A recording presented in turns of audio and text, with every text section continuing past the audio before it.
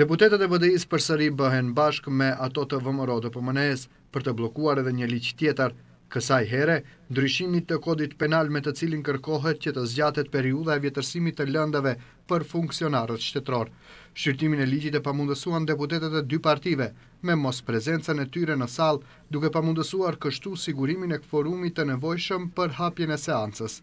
Kryetari i Komisionit për Sistem Politik, Aleksandar Kiracovski, nuk deshi të gjykojë nëse BDI dhe VMRO-DPMNE kanë pasur marrëveshje, por tha se dy partitë janë bërë pengesë për sjelljen e drejtësisë në vend.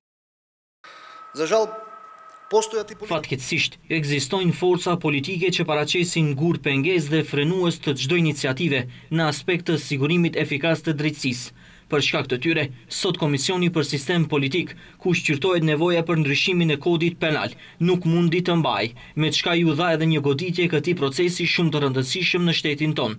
Përveç deputetëve të VMRO-DPMNE-së, në Komision nuk mundësuan kvorum edhe deputetët e BDI-së. Nuk mund të them nëse ka pasur marrëveshje midis dy partive, por mund të konstatoj se sjellja e tyre e sotme është tekstualisht, Pengesë për votimin e ligjeve që mundësojnë proces më efikas gjyqësor dhe nxjerrjen e drejtësisë në shesh. Siç sqaroi Kiracovski, nga lëndët që aktualisht rrezikojnë të vjetërsohen, janë të prekur shumë ish-funksionarë dhe funksionarë të qeverisë aktuale, por nuk përmendi emra të tyre dhe partive që ju takojnë ata.